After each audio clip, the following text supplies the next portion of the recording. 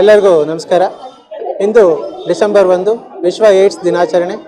ಈ ದಿನಾಚರಣೆ ಸಾವಿರದ ಒಂಬೈನೂರ ಎಂಬತ್ತೆಂಟರಿಂದ ನಡೆಸ್ಕೊಂಡು ಬರ್ತಾ ಇದೆ. ಈ ದಿನಾಚರಣೆ ಮಾಡ್ತಾ ಇರುವಂಥ ಉದ್ದೇಶ ಏನಪ್ಪ ಅಂದರೆ ಎಚ್ ಐ ವಿ ಸೋಂಕು ಬೇರೆಯವರಿಗೆ ಹರಡದಂತೆ ಒಂದು ಜಾಗೃತಿಯನ್ನು ಮೂಡಿಸುವಂಥದ್ದು ಹಾಗೂ ಎಚ್ ಐ ವಿ ಸೋಂಕಿನಿಂದ ಈಗಾಗಲೇ ಮರಣ ಹೊಂದಿರುವಂಥವ್ರಿಗೆ ಗೌರವವನ್ನು ಸೂಚಿಸುವಂಥದ್ದು.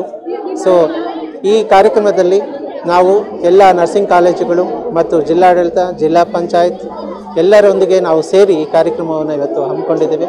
ಬೆಳಗಿನ ಜಾವ ಜಾಥಾ ಕಾರ್ಯಕ್ರಮವನ್ನು ಮಾಡಿ ಎಲ್ಲ ಮೇಯ್ನ್ ರೋಡ್ಸಲ್ಲೆಲ್ಲನೂ ನಾವು ಜಾಥವನ್ನು ಮಾಡಿದ್ದೇವೆ ಹಾಗೂ ಎಲ್ಲರಿಗೂ ಅವೇರ್ನೆಸ್ಸನ್ನು ಕೊಟ್ಟಿದ್ದೇವೆ.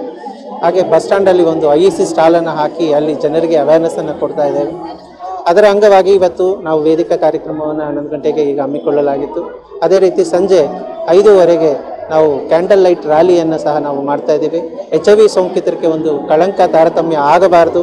ಅವರನ್ನು ಸಹ ಸಮಾಜದಲ್ಲಿ ಗೌರವಿಸುವಾಗಿ ನೋಡಬೇಕು ಅನ್ನೋ ಒಂದು ಉದ್ದೇಶದಿಂದ ಆ ರ್ಯಾಲಿಯನ್ನು ಸಹ ಮಾಡ್ತಾ ಇದ್ದೇವೆ. ಈ ದಿನ ನಾವು ಘೋಷವಾಕ್ಯ ಸಮುದಾಯಗಳು ಮುನ್ನಡೆಸಲಿ ಎಂಬ ಒಂದು ಘೋಷವಾಕ್ಯದಲ್ಲಿ ಈ ಕಾರ್ಯಕ್ರಮವನ್ನು ನಡೆಸ್ಕೊಳ್ತಾ ಬರ್ತಾ ಇದ್ದೇವೆ.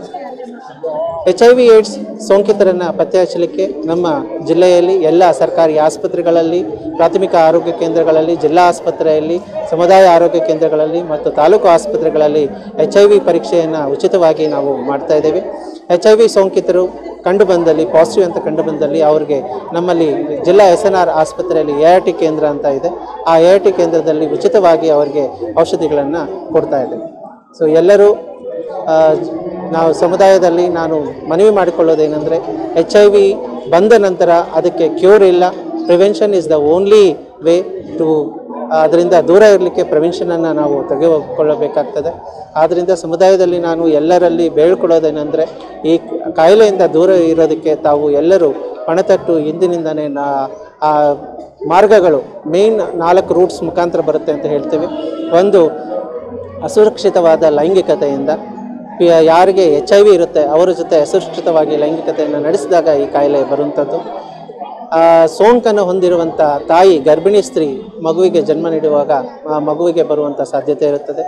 ಹಾಗೆ ಸೋಂಕಿತರು ಬಳಸಿರುವಂಥ ಸೂಜಿ ಸಿರಿಂಜ್ಗಳನ್ನು ಅಸುರಕ್ಷಿತವಾಗಿ ಬೇರೆಯವರು ಅದನ್ನು ಉಪಯೋಗಿಸಿದವಾಗ ಆ ಸಂದರ್ಭದಲ್ಲಿ ಸಹ ಇದು ಬರುತ್ತದೆ. ಹಾಗೆ ನಾನು ಯುವಕರಲ್ಲಿ ಈಗ ಒಂದು ಹೇಳೋದೇನೆಂದರೆ, ಈ ಟ್ಯಾಟೋ ಹಾಕ್ಸ್ಕೊಳ್ಳೋದು ಭಾಳ ಮೋಜು ಮಕ್ಕಳಲ್ಲಿ ಯುವಕರಲ್ಲಿ ಇದೆ.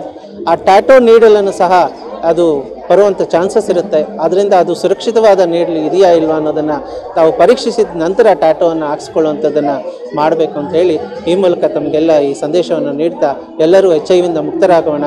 ಎರಡು ಸಾವಿರದ ಮೂವತ್ತರ ವೇಳೆಗೆ ಕೋಲಾರ ಜಿಲ್ಲೆಯನ್ನು ಶೂನ್ಯ ಎಚ್ ಐ ವಿ ಹೊಸ ಪ್ರಕರಣಗಳು ಬರದಂತೆ ನೋಡಿಕೊಳ್ಳೋಣ ಅಂತ ಹೇಳಿ ಈ ಮೂಲಕ ತಮಗೆಲ್ಲ ಸಂದೇಶ ನೀಡ್ತಾರೆ